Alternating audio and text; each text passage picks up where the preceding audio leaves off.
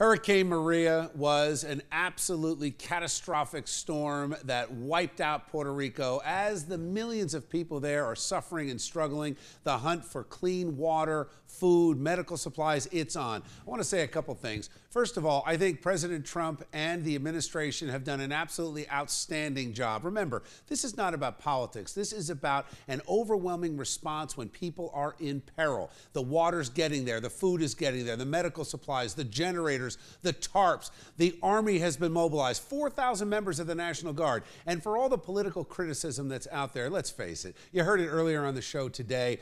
President Trump got criticized for going to Harvey too early. Now he's being criticized for not going to Puerto Rico until next week. The reality is, we don't need politicians or political leaders on the ground. We need medicine, we need doctors, and food and water, and that is getting where it needs to go. Let's keep the politics out of it. This is about saving lives and rebuilding a future in Puerto Rico.